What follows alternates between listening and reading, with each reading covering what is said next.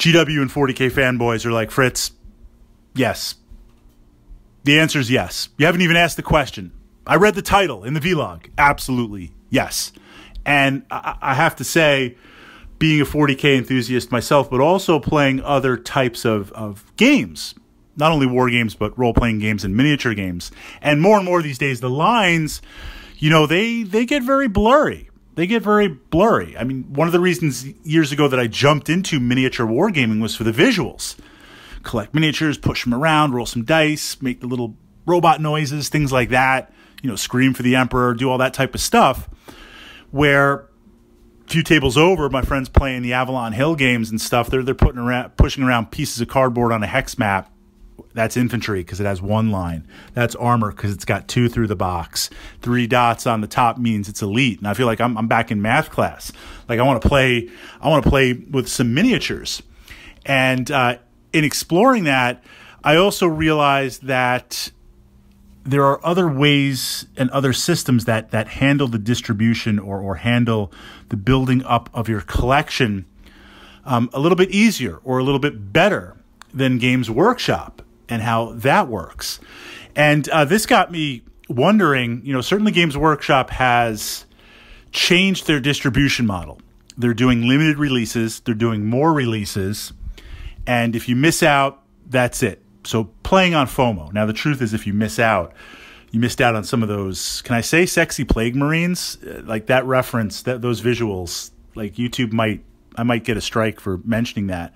But those sexy plague marines in the early when they were first released, it was like, oh, limited edition, get them now or they're out. And then like, you know, they showed up in Blackstone Fortress as as a pack in.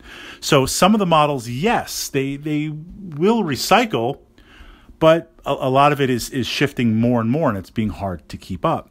So this got me into the question, the yes, and and I'm kind of like thinking yes myself. If there was a subscription service a GW subscription service, would you do it? Would you do it? Okay, in the context, you know, um, a number of years back when I was collecting comic books, Punisher, Judge Dredd, did X Men for a little bit, um, Thor. I knew that I could go every Friday, sometimes every other Friday, but but I knew one of the highlights was I got out of work, I went over to the comic store and I had my pulls. You know, the the manager there knew what titles to pull. I would pick them up and they'd be put aside, and um, it was it was really exciting to to have those and to be able to read those. Games Workshop, what if they did something similar? Now we have seen numerous times in the past and continuing where they would release through White Dwarf um, not only the literally the White Dwarf for the year, but occasionally they'd release a sprue of models or they'd release something with it, and it was kind of nice. It was kind of exciting to get that. Well, what if you could go on their site and there was a way to pick your army? And they would send you, they would keep track of what they've sent you. It might be randomized, so you don't know. Um, it might be able to change but what if they could send you half box sets or smaller squads um, to build out your collection? And let's complicate things further, but maybe it's not. Maybe there's like a tier one, tier two, tier three buy in. Um, that from that perspective, what if once a month you got a little Games Workshop delivery of stuff for your army and it was different?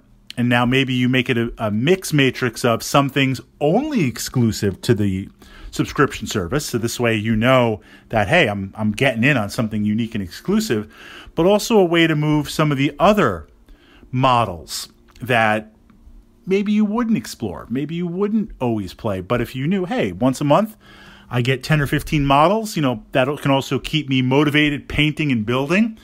I wonder how a subscription service would work from that perspective and if Games Workshop would take things in that direction to fulfill out that tier. I, I could see that again being very, very interesting.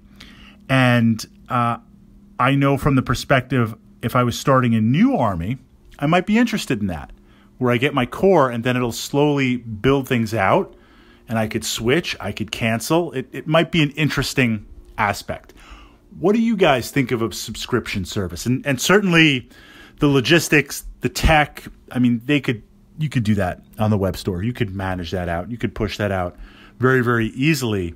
Seeing how Games Workshop has been very innovative and very bold with some of their initiatives. So, in the comments, is that something that you would buy into if you were a, newish player? You know, even if you've been playing for a while, looking back, rewinding back, and seeing, do you think that would, as an existing player, tempt you to start a new army? rather than going in and buying a whole new army and now sta- staring at what lies before you. If you knew, hey, I'm interested in playing uh, Grey Knights, so they'll start off, they'll send me this, it'll move on to this, and over the course of a couple of months, six, seven, eight months, you'll have a nice little battle force. You'll have something to play, and it will be motivating because you don't know what you're getting every month. You're getting new units, you'll paint it, you'll play it. Could be kind of interesting to see.